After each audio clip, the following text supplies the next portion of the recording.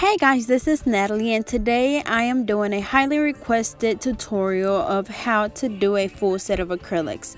So those are all the materials that I will be using. So I'm using this Pana, I think that's how you say it, this nail trainer and I got this one off of eBay for about $24 and I'm pretty sure the little nail tips came included. I'm not sure how many it's in there but I rarely ever use it. So first thing you want to do is start sizing your um, fingernails. And I, I really cannot remember how many different sizes there is. I want to say I, I used the same size for those four fingers and then I think I used the bigger one for the thumb.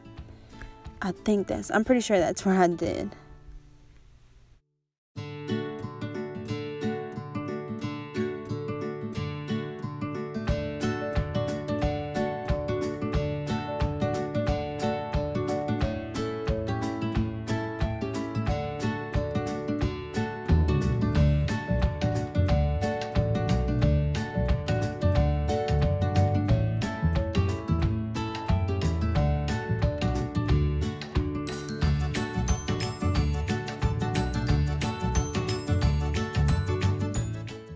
Next thing you want to do is cut the tips off because we don't want a long nail under our tips. So we're going to cut all those off and after we do that we're going to start shaping the nail.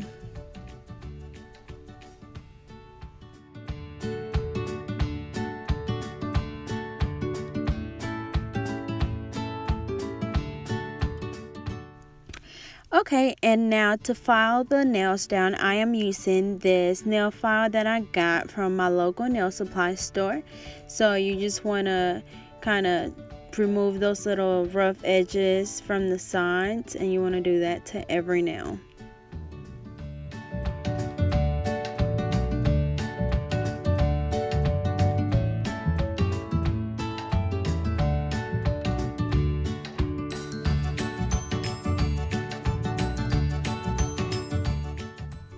Okay, so next thing you want to do is remove the shine from the nail and you want to do this really slightly because you don't want to cut their cuticles or anything and you also don't want to thin out their nail. So as you can see I'm just gently removing that uh, shine and if I were doing it on an actual person I don't usually use a hand file and I know a lot of people do but I like to use my e-file just for speed that's about it. But for this um, hand trainer I decided to use this hand file because that e-file is not the same. I don't know. It feels kind of weird whenever I'm doing it. I guess because I'm doing it on plastic so I didn't like it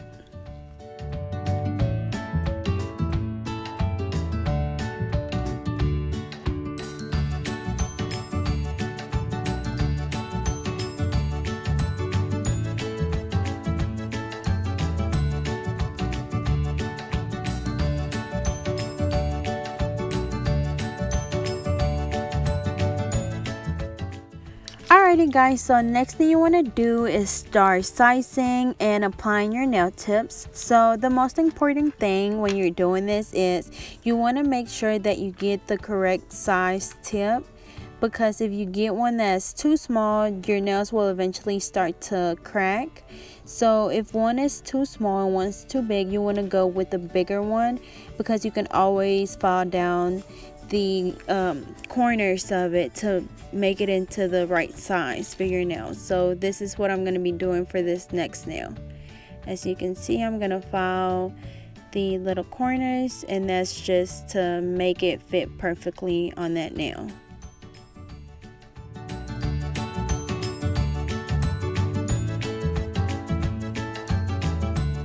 And this is just an FYI, I did not put what kind of glue I was using because I actually ran out of the glue that I usually use to glue my tips on.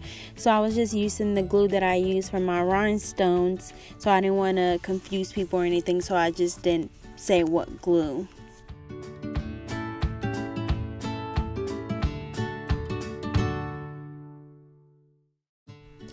Alrighty, so now that all the nails are on, you just want to clip them down to the desired length.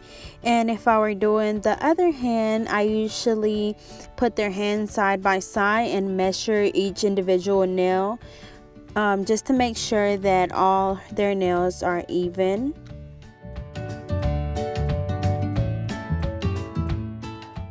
Since we'll be doing the coffin shape, next thing you want to do is cut off those little corners and that's just to save time. And I usually use a nail clipper, but I'll be showing you how to do it with a nail clipper as well as the small scissors because I've seen a lot of people using those little scissors. But I feel more comfortable doing with a nail clipper just to be safe. So next thing you want to do is just start filing their nail and you want to alternate from side to side just to make sure it's even and once you get to the desired um, shape you want to just do the free edge just to make sure it's straight Okay, so once you uh, shape your nail, you want to just slightly file the top of the tip just to kind of blend it and make it look a little more natural. So like I said, just slightly do it. You don't want to thin out their natural nail. So just mainly focus on that um, tip.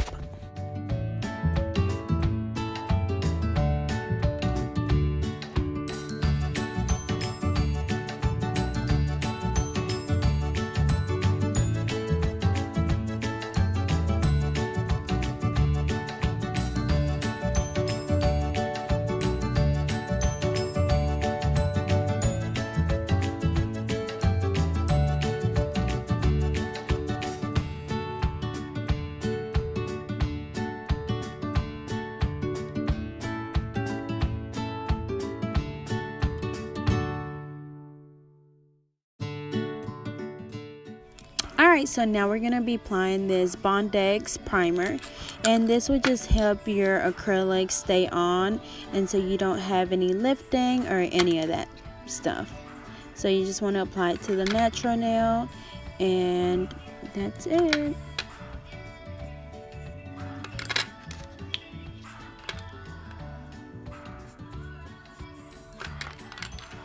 We're going over to the acrylic application and like I've said before I am using this Mia Secret acrylic system and I am doing the 3 bit dang I can't say it the 3 bit method.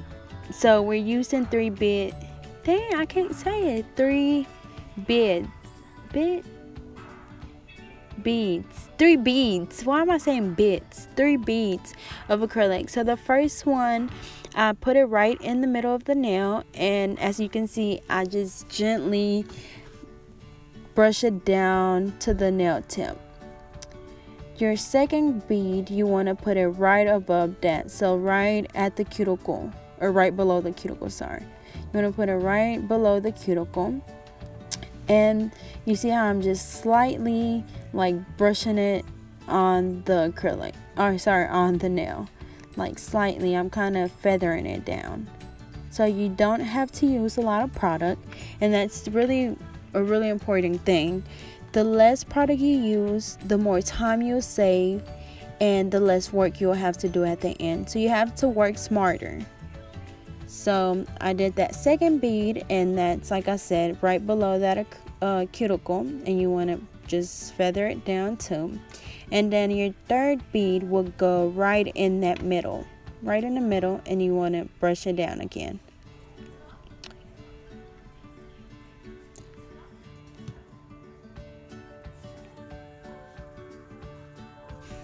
one thing I forgot to mention is uh, pay attention to the way I keep wiping my brush. You want to make sure that your brush is clean, clean, clean, clean the whole time. Because I've know um, I've had different girls tell me like, oh, I have a hard time trying to get that acrylic off my brush.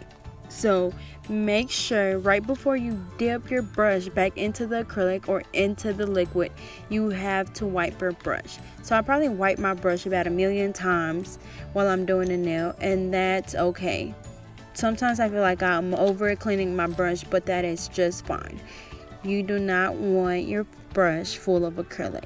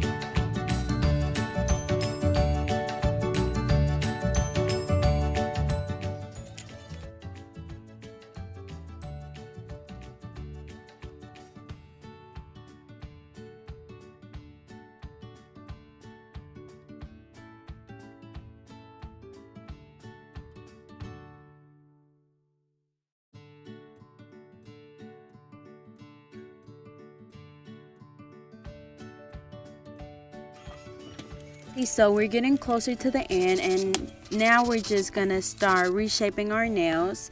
And I want to mention that um, whenever I got to the thumb since I was the last nail that I did it wasn't dry. So the way you can um, see if they're dry or not you want to tap the nail. So if it sounds like that that means it's dry but if it don't sound like the if that tapping noise isn't as loud or if it's not tapping you know right then that means it's not dry if it makes sense. I'm pretty sure it does. So now you want to just start filing um, all your nails. And like i said before if you work smarter you won't have to do too much work when you get to this part. So i really didn't have much to do but i just wanted to make sure it was smooth and just right.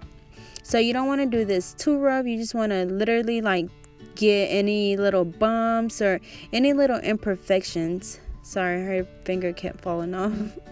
but yeah, so you just want to get any of those little bumps or whatever off the nail. And after you do that, we're just going to be buffing it just to make sure that it's super duper smooth.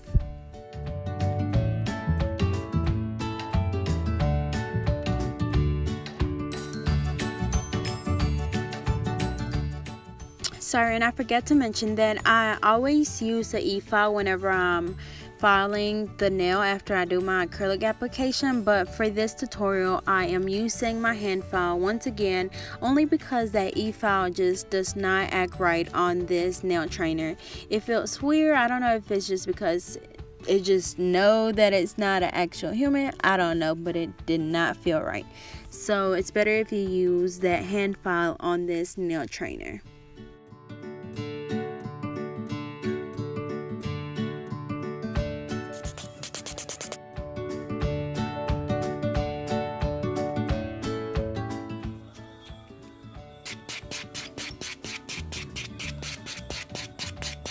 I also wanted to mention that when you're buffing, you want to make sure that you get under that nail like that so you can get all the little excess little stuff from the nail tip because my girls apparently like to pick at their nails if that stuff is not off. So you want to make sure you get all that off and after you do that you just want to wipe them off or have your girls wash their hands or whatever process you do and you're all done.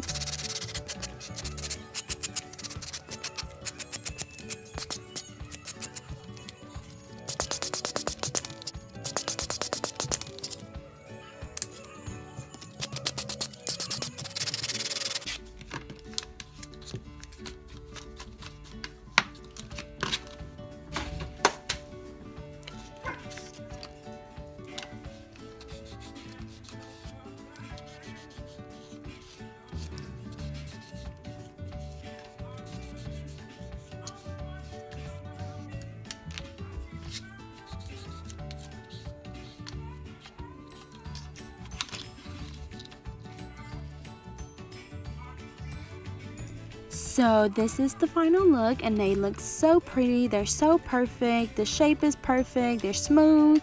They look good. And I hope you guys like it. Uh, don't forget to share, like, subscribe.